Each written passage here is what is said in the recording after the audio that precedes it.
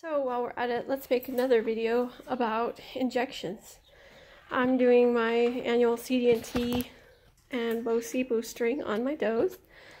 So let's talk a little bit about anatomy real quick. Um, intramuscular IM means in the muscle. And most IM shots should be given in this muscle right here in the neck. Um, sub-Q, SQ, means subcutaneous, which is under the skin. So we pull out some skin. The armpit area is a good area. If you need to give multiple injections, you can back up over the ribs. Um, like you can give sub-Q fluids under the ribs, on the ribs under the skin. This is um, what's considered the interperoneal area. Uh, sometimes you do need to give injections interperoneally. Um, there's you should never give a muscle uh, an intramuscular shot in the leg, as there is a nerve that runs right down this leg, and also the rear leg on a goat is considered uh, the prime cut.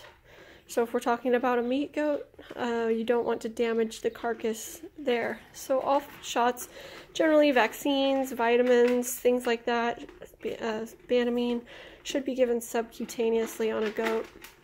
Hormones like Lutalyse, PG600, um, and uh, Cystorelin, things like that, should be given intramuscularly in the neck.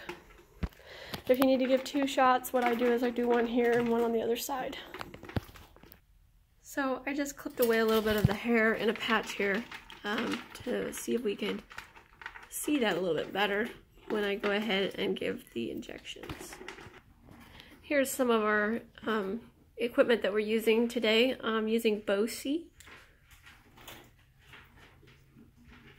and uh, my CD&T vaccine.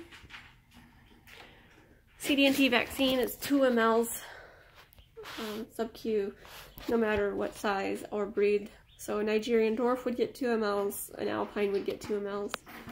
Uh, the BoSe is 2.5 mLs per 100, and that is a veterinary prescription. BoSe eh, and like penicillin um, and biomycin are generally really thick so I use a, a bigger needle for those thicker medicines. This is an 18 gauge by 1. The bigger the number, the smaller the number, I'm sorry, on the needle, the larger diameter the hole in the needle. So an 18 is bigger diameter than a 23. So for the CD&T, I'm going to go ahead and use a 20 by 1. 20 is a pretty standard um, size for like vaccines, uh, thiamine, B complex, anything that's really liquid like that. Um, the 20 by 1 is adequate. So now we're going to go ahead and give the injection sub-Q. You want to hold the bevel of your needle with the hole in the needle facing the goat. You want to come in tight and see, can you see it okay? So we're going to go at an upward motion under the skin. I'm going to pull the skin out and I'm going to just put the needle right under. You should always pull back on your plunger to make sure no air is there. If you do get a big air bubble here, that means you've probably gone through the skin on the other side. Um, and if you get blood, we don't want that either. So you just pull back a little bit and that's a good placement. So we're gonna go ahead and slowly uh, make our injection. I kind of twist my needle a little bit and apply pressure and then just wiggle it and rub it in a little bit. And there's our injection.